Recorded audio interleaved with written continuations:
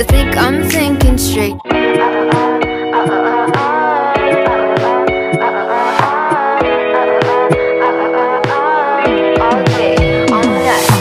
It's been 12 days, I think I'm thinking straight.